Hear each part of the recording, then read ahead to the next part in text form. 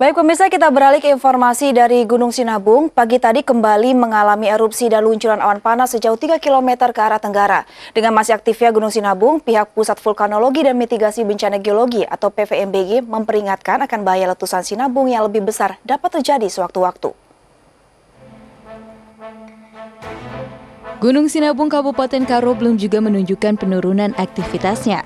Pagi tadi pada pukul 7 lebih 18 waktu Indonesia Barat, terjadi kembali letusan yang disertai luncuran awan panas ke arah timur dan tenggara sejauh 3 km. Terkait aktivitas Gunung Sinabung yang terus menunjukkan peningkatan, berdasarkan rekaman data harian, pihak PVMBG memperingatkan Gunung Sinabung akan meletus lebih besar dari sekarang. Sedang kalau ilmu pengetahuan saya, uh, tidak nampak Sinabung akan meletus besar.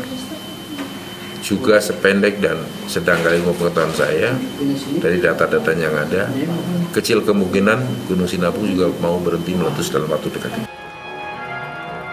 Terkait peringatan Sinabung yang dapat meletus dahsyat, maka warga tetap dihimbau tidak memasuki zona bahaya Sinabung yang telah direkomendasikan.